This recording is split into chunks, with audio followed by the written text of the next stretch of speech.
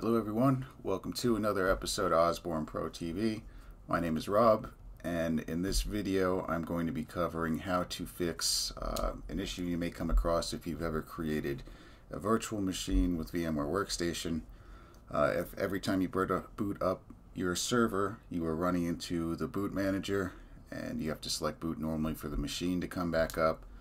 Uh, what happened was when you created the operating system, the uh, OS detection in VMware created an answer file and it mounts it as a floppy image and it attempts to load it every time that you um, start up the machine.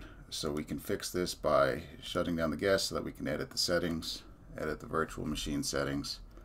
Um, if you're um, one thing you could do, you could change the boot method to BIOS instead of the UEFI, uh, which is done in options, advanced, and um, the firmware type.